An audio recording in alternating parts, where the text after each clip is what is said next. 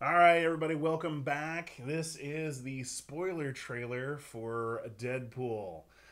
And Spoiler trailer? or this it's not spoiler trailer. Welcome back everybody. This is the spoiler review for Deadpool. This is a fucking epic movie. Um again, awesome uh awesome way to start the movie with this uh the opening sequence instead of having what we've all seen fucking online. names of, of people. You're you have like random shit like hot chick or ugly guy that directed by a total douchebag. I mean, it, everybody in the audience was fucking laughing their asses off. Oh, yeah. I mean, it was it was a great way to start it. And Great this- visual. Oh yeah, comedy the, the whole well. the whole CG opening where you're seeing all this random shit. You, you see the guy with the fucking cigarette lighter spitting it out of his mouth. He's he's giving a giant fucking wedgie to the to the motorcyclist. That was fucking epic. I mean. You, you can't. I don't know if I've ever seen a more entertaining and hilarious. Oh yeah, I mean, in terms of just grabbing you right away. Yeah, just it- right off the bat. And the Hello Kitty fucking lip gloss, I was like, where the fuck did this come from? this movie just right off the bat just grabs you. I mean, plot wise, it doesn't get too deep. No, into and you don't. I mean, with Deadpool, you don't really need anything deep. He's not Yeah. a deep character. Yeah. Even Wade Wilson wasn't a deep character. They, they made him a little bit deeper with this movie because I guess they have to. You know, it's Hollywood, so they have to do the love interest. You know, it's a little shake weighty. Yeah. no, they got to do the love interest. It's the love interest, uh, per, played by Morena Barak, Bar, Bar, Barracan. Barracuda. Barracuda. uh, absolutely gorgeous. Uh, of course, we all know her from Firefly. Drop dead gorgeous uh, back then, and I swear to God, this girl gets better with age. She is just smoking hot in this movie. Um, Great chemistry between the two. Oh of them. Oh God! I mean, you could tell that the two of them had. They must have been like best friends, like off screen as well, because there was so much chemistry between the two of them. I mean, granted, they're both great actors, but the way that they were just feeding off of each other in the scenes, there's no way that they couldn't have been just like boom, boom, boom Oh, yeah. off screen as well. I mean, Jesus, dude, they had it was. They had, they had fire. Yeah. Absolutely. Um, I loved kind of the because they have to incorporate X Men to a degree. Oh, and like like you said on the other on the other review, you know, it's like how many times like how many fucking times did they reference things? Did he break the fourth wall? I mean, holy shit! I mean, that the that jokes, scene yeah. back at the end where it's like, oh, such a huge fucking house, and uh, there's only two of you. Hmm. It's as if the studio couldn't afford more X Men. fucking brilliant. I don't. I, I wish you would have kind of made a joke about the fact that Marvel doesn't own like the X Men license anymore. Oh, I'm sure he will in the future. I'm sure he will in the future. Another one of my favorite scenes is when he breaks uh, he breaks the fourth wall to tell a story, and in the story he breaks the fourth wall again, and he's like, "That's like 16 walls." Fucking great. I will say, however, the one thing, the one thing I didn't like about this movie, uh, might be trivial on my part, but still, as a fan of the character, he during his I don't know how you want to say it. During his transition from Wade Wilson to Deadpool, he goes through he his mind breaks and fractures into several Mm, different mhm. personalities. And if you've ever played the video game, read the comics, or even seen some of the cartoons, he talks to himself. Like he has the voices in his head. In the comic book, it's different colored boxes or bubbles, uh, different shaped boxes or bubbles and and if you know anything about the about the character at one point he actually his his broken psyche breaks completely and it takes it's taken over by a red box and the red box tells him to kill everybody. Hmm and so i won't get too deep into that but there was not even maybe one point uh, during this movie that he actually showed any kind of split personality and that was when he was in the in the taxi cab when all four of them were in the taxi cab Yes. and he's sitting there telling Colossus and the chick in the back, "No, I didn't tell him to do that. Do it, kill him. I'm so proud of you. Oh, this is just horrible. I would never do it. Do it. Do it." that would that would actually probably be a great exploration for the sequel. oh maybe. God, yeah. because I mean, Robert Wells could do it. That would be awesome for like you know four or five different personalities that he's kind of like constantly looping around. Oh, that would that would be, be- that would uh, hopefully yeah. Because I I mean I agree. Yeah, I mean he remains the smartass throughout. which is great. You know, Which we all love that. but- yeah, but uh, it would it would be really cool to see because I mean like his like torture transformation is brutal. Oh, oh my Like, God. it's a really brutal. it's scene they did a really good job with that whole sequence of him fucking being transformed into Deadpool. Yeah, it's like you're actually kind of surprised he made it out as well as he did, given Yeah. what he was as, through. as sane as he supposedly is going through all that shit. Uh, one thing I just I just forgot another I guess two things in this movie I didn't really care for. The second one was he's supposed to have regenerative uh, regenerative uh, properties to rival, not just match but rival um, Wolverine. And we've all seen the Wolverine movies. He gets shot, bullets pop out, and he heals. He gets cut across the face, heals within seconds. Now, the only time you see anything like that actually happening where he's healing in seconds is when he holds up his arm and he's like, motherfucker, and the hole starts to seal. Mm-hmm. But he gets his fucking, he cuts his own hand off. And it takes like fucking hours for this little baby hand to come back. I mean, that was a cool scene. I liked the scene. The scene was fucking creepy. fucking funny. This little like hand. Oh, that was fucking awesome. Uh, our, our our buddy Jamin that came with us, he looks at me. And he's like, "That's fucking nasty, man."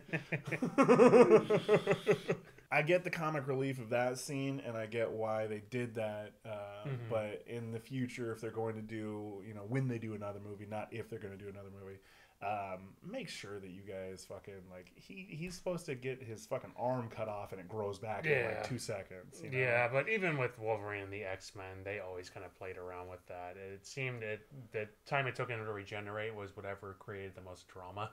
Yeah, that's true. Is that? Like a climax of the story. Yeah. Yeah. Yeah. You know, he gets shot in the head, and usually he just heals immediately. I he gets shot in the head, Stands head. up and looks back at But him, he, and but then for like out. one dramatic moment, he gets shot in the head and he's like unconscious for like you know five minutes. Yeah. And then when it's dramatic movie it is. for him to come back, that's when he does. But um, That was an adamantium bullet. mm, That's the reason why he was knocked unconscious. Okay. I haven't seen X two in a while. So. no, that was the Wolverine movie. Okay. Oh fuck. Yeah, it was Gives terrible. a shit about that. Terrible. And I love how they just they they reference The fucking Hugh Jackman reference. They reference Not just Wolverine, but Hugh, Hugh Jackman, Jackman. in Oh, particular. left and right. I mean, this just the shit that they reference from from all the all the fucking X Men movies, but that one in particular, that was just like when it cuts to the just little like big fuck you. a little, the little Deadpool action figure Yeah. from the Origins. He's like, I'm gonna. That's not even the worst thing you've ever seen, and then it cuts to that. but um, villain wise, um, I I mean, mean, he- really much. yeah, there wasn't really Anything? much to go with on that guy. I His mean, name was Francis. his name was Francis. That I Um, got. I love the the whole interaction between uh, Francis and Deadpool. They had some, yeah, they had some They had really some good really interactions. good you don't really figure out, you don't really know too much about him, where he comes from. You kind of get like the little backstory. little backstory. But He got much experimented on also, and now he can't feel anything. Like- I mean, that's really about it. about it. Yeah, And then No. you got, uh, then you got Boobs McGee. Angel. Dude, she's smoking hot. I you know that kind of disappointed me. I, I was talking to Jamin on the on the way back from the movie, and it's like this this woman is is gorgeous. Like she's really sexy, and uh, you know the first half of the, of the movie that you see her, whenever you see her in, she's got you know beautiful you know dark hair just flowing down, and then the when she gets into battle mode, if you want to put it, she's got her hair all tied back. And I'm sorry if this offends any of you. Oh wait, I don't care. Uh, she looks like a fucking dyke. You know, she's out there just bull dyking it around but she's still smoking hot. It's like, dude, seriously?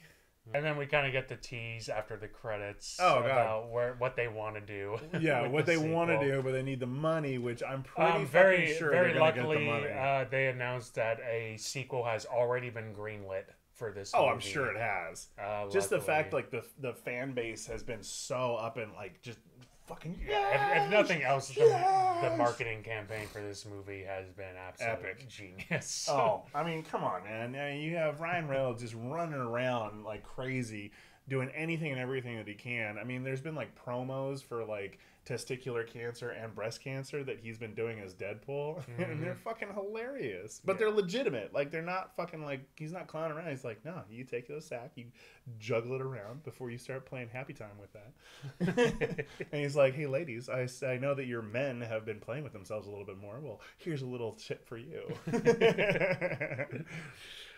but uh, no, that's and, and I love that that uh, uh, I mean he's he's the one character in all of comic books and, and cartoons that breaks the fourth wall on a regular basis. yes, that knows exactly what What medium he's he, in, he- what. Yeah, you know, regardless of, of what medium it is, he knows that he's in it. He knows he's in a fucking comic book, and you know, there's there's shots, uh, there's scenes where he's like playing with the actual box that he's in, you know, the frame that he's in. You know, there's cartoons. or he's like moving the camera. Oh yeah, like this. He was like, "Kids, you don't want to watch this." And he grabs the camera and moves it off to the side. And of course, you know, there's always a scene in the comics, cartoon, or, or video game where he sits there and he's talking to the camera. He's talking to you, the audience, and the people around him are like, "Who the fuck are you talking to?" And they mhm. actually did that on the bridge, you know, the fight scene, and they're like, "What? I'm." Who you? I'm right here, dude. I can hear you. And he's like, I'm not talking to you, Colossus. I'm talking to them. I'm pretty sure that this movie's gonna gonna gross a lot of money this weekend and in, in the coming months. I, I absolutely believe it. Um, I'll probably go see this movie in the theaters again, and I don't normally do that. I'm usually a one and done. You know, I get I get tired and I want to go to bed. Don't I know that? um, but no, this movie. Uh, if they don't make a sequel, they're fucking whoever, whatever Nah. studio owns this this uh, No, it's gonna happen. this franchise. You're you're fucking missing out. I mean, it's taken you this long to to fucking realize how much uh, potential comes with Yeah, I'm I'm, ho- I'm hoping between like this and Mad Max, there begins a marketplace for kind of big, yeah. cool R-rated. Bring back the '80s, baby. Yeah. Bring back the R ratings, baby. I'd buy that for a dollar. so I guess you know, in conclusion, you know, as uh, as fanboys here, you know, it's like this is an awesome movie. Highly, highly recommend going to see this, and I will be adding this to my uh, my collection. Yeah, watch it and support it. Yes. Uh, I- one thing I wanted to say, like going back to the Ferris Bueller thing from earlier, that's what I love when you wait through the whole credits. He he drops the Ferris Bueller scene. He comes out of the, out of the fucking bedroom and he's wearing a robe and he's like, "It's over. Go home. Shoo, shoo, go. Get out of here." I fucking love that. Like just the fact that he he uh, referenced Ferris Bueller right there. I, I was just like, it was very shake weighty. anyway, Ah, money shot.